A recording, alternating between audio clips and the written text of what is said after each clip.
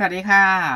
วันนี้ก็วันที่ 26 เมษายน ปี 2022 นะคะ แล้วก็คลิปนี้เนี่ยเชอรี่ทำเพิ่มขึ้นมานะคะ หลังจากที่เชอรี่ทำคลิปแรกเสร็จไปก่อนแล้วค่ะ ก็เป็นเรื่องของอีลอนมัสก์นะคะ เขาเข้าซื้อทวิตเตอร์แล้ว ซึ่งเขาซื้อด้วยดีลที่ 4.4 หมื่นล้านดอลลาร์สหรัฐนะคะ โดยคณะกรรมการบริหารอิสระของบริษัททวิตเตอร์เขาออกมาแถลงการณ์ว่าเขาตกลงขายทวิตเตอร์ให้กับอีลอนมัสก์โดยทางบริษัทเนี่ย ได้ประเมินข้อเสนอของมักอย่างถี่ถ้วนแล้วนะคะ แล้วก็บอกว่าข้อตกลงนี้นะคะมันเป็นแนวทางที่ดีที่สุดสำหรับผู้ถือหุ้นของ Twitter ภายใต้ข้อกำหนดนี้นะคะ ผู้ที่ถือหุ้นจะได้หุ้นในราคา 54.20 ดอลลาร์ต่อหุ้นนะคะ ที่ตามข้อตกลงที่เสนอที่มาร์กเขาเคยให้ไว้ก่อนหน้านี้ค่ะ โดยที่อีลอนมัสนะคะจะใช้เงินส่วนตัวประมาณ 2.1 หมื่นล้านดอลลาร์นะคะ ที่เหลือราวๆ 2.5 หมื่นล้านเนี่ย จะเป็นการจัดหาเงินทุนโดยการกู้ยืม ส่วนหุ้นทวิตเตอร์นะคะก็เพิ่มขึ้นเกือบ 6%นะคะอยู่ที่ 5.66%หลังจากการประกาศข้อตกลงไป โดยที่ต่อหุ้นนะคะก็อยู่ที่ประมาณ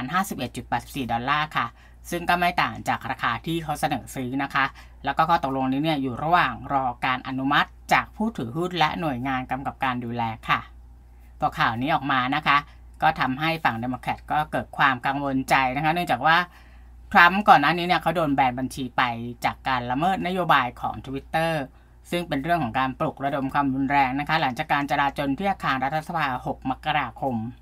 ก็มีข่าวจาก CNBC นะคะเขารายงานว่าทางทำนียบขาวเนี่ยปฏิเสธในการแสดงความคิดเห็น แต่ว่าก็เกิดความวิตกกังวลนะคะว่ามันจะมีผลกระทบต่อการเลือกตั้งประธานาธิบดีในปี 2024 หรือไม่ จากกรณีของการเข้าซื้อ Twitter ของอีลอน มัสค่ะ ส่วนอีกแหล่งข่าวหนึ่งนะคะเขาก็บอกว่าทางทำเนียบขาวเนี่ยกังวลใจเรื่องที่มัสจะอนุญาตให้อดีตประธานาธิบดีโดนัลด์ทรัมป์นะคะ แล้วก็สมาชิกของพรรครีพับลิกันที่เคยถูกแบนจากทวิตเตอร์เนี่ยกลับมาเล่นทวิตอีกครั้งด้วยหรือไม่ ซึ่งทรัมป์เนี่ยอาจจะใช้ทวิตเตอร์สร้างความเสียหายมากขึ้น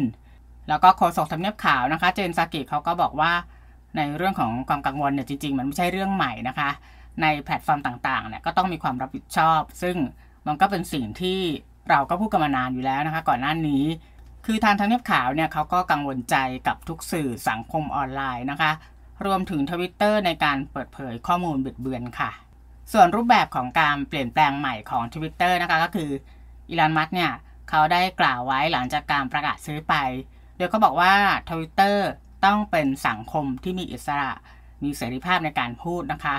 แม้แต่คำวิจารณ์ที่รุนแรงเนี่ยจะไม่ถูกลบออกด้วยค่ะ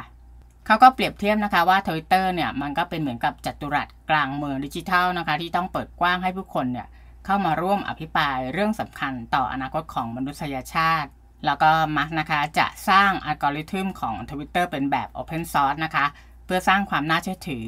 แล้วก็มีการกำจัดสแปมในรูปแบบของบอทแล้วก็รับรองตัวตนของผู้ใช้งานทุกคนด้วยค่ะ ซึ่งมันก็มีข่าวว่าทาง CEO ของ Twitter ที่ชื่อว่าภารักอักราวานนะคะ เขาได้จัดการประชุมพนักงานทั้งหมด หลังจากมีมติการขายกิจการให้กับอีลอนมัสก์ไป โดยเขาระบุว่าเขายัางไม่เห็นแผนปลดพนักงานตอนนี้ แต่เขายอมรับว่าอะไรๆเนี่ยก็เปลี่ยนแปลงได้เสมอค่ะ รวมถึงทิศทางของการบริหารงานแล้วก็การจัดการแพลตฟอร์มนะคะ โดยคาดว่าดีลนี้จะใช้เวลาประมาณ 6 เดือน แล้วมันก็มีข่าวว่าทางอัครวานเนี่ยอาจจะถูกให้ออกจากตำแหน่งนะคะ ซึ่งเขาเพิ่งจะเป็น CEO ให้กับ Twitter มาแค่ 5 เดือนเท่านั้น แต่ก็มีข้อมูลลับนะคะเขาบอกว่ามันมีข้อตกลงด้วยว่าเขาอาจจะได้รับเงินชดเชย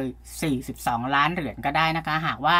ต้องออกจากตำแหน่งภายใน 12 เดือนค่ะ ถ้าหากมีการเปลี่ยนแปลงโครงสร้างนะคะ ส่วนทางฝั่งของอดีตประธานาธิบดีโดนัลด์ทรัมป์นะคะ เขาก็ออกมาชื่นชมมัสก์นะคะ โดยผ่านรายการ Fox News แล้วก็ยืนยันว่าจะไม่กลับไปใช้ทวิตเตอร์ค่ะ ซึ่งทรัมป์เองเนี่ยเขาก็มีแอปโซเชียลที่เปิดขึ้นเองนะคะ ที่ชื่อว่า Truth Social ส่วนทางด้านของนายจิมจอแดนนะคะ สมาชิกสภาผู้แทนฝั่งริพับลิกันเนี่ยเขาก็ออกมาบอกว่าเรื่องนี้เนี่ยมันเป็นผลดีต่อเรื่องของเสรีภาพในการพูดและการแสดงออกนะคะ ซึ่งมันเป็นหลักตามรัฐธรรมนูญของสหรัฐอเมริกาเราค่ะ ก็จบไปกับข่าวของอีลอน มัสข่าวสั้น ๆ นะคะ คลิปนี้ก็เป็นคลิปเพิ่มเติมเข้ามาค่ะ ขอบคุณสำหรับการติดตามนะคะ เจอกันอีกทีคลิปหน้า สวัสดีค่ะ